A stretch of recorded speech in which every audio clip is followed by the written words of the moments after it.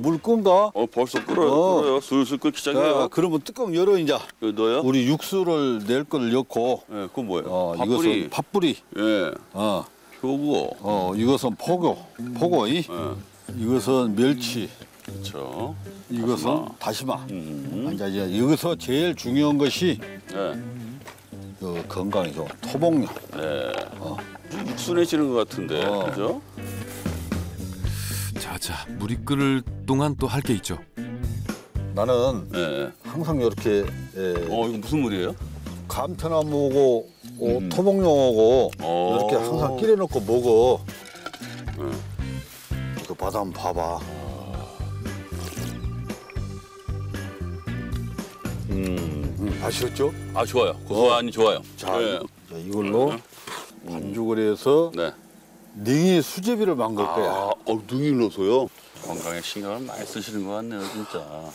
이 산에 들어와서 네, 이런 약초를 많이 먹고 네. 건강이 어, 정말 회복이 많이 됐지. 예. 그래서 나는 모든 음식에 네. 이렇게 약초로 해서 먹고 그려. 예, 뭐 약초뿐이겠습니까? 산에선 뭘 먹어도 보약 같은 기분이죠. 자 물을 아, 끓여. 능이. 아, 능이. 이거 직접 따신 거예요? 그러지. 어, 내가 직접 채취한 네. 부산 능이.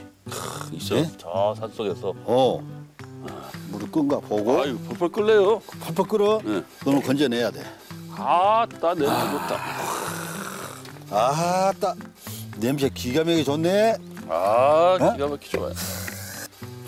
감자부터 능이 넣고 능이 넣고. 푹 우러나라고. 어, 그다음에 네. 지금 넣어요? 우리 둘이 네. 사이좋게 한번 네, 네, 뛸까요? 띠 네. 이어보자고. 띠. 예, 띠. 예, 참 지금 옛날에는 이걸로 주식을 살았는데 옛날에. 예, 지금은 별미라이. 참 우리 어렸을 때는 어 이것도 참 못 먹고 살았네. 토복령에다가 이렇게 육수를 내 가지고 네. 능이를 넣어서 먹는다는 걸 옛날에 상상이나 했을까? 능이가 귀하니까 이제 음. 잘 못 먹죠. 어느 음식이라도 들어가면 다 환영이죠. 발을 좀 넣어야. 그렇죠. 마지막에. 예, 아, 좋다. 아, 이제 색깔 제대로 나오네요, 형님. 정말 맛있게 음. 끓여졌네. 야, 이 능이가 진짜 귀하다는데.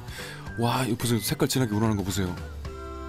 배고픈 게 네네. 어찌 한 그릇씩 떠서 그럴까요? 먹어보더라고. 네네. 자, 잘 먹겠습니다, 형님. 맛있게 드셔. 예.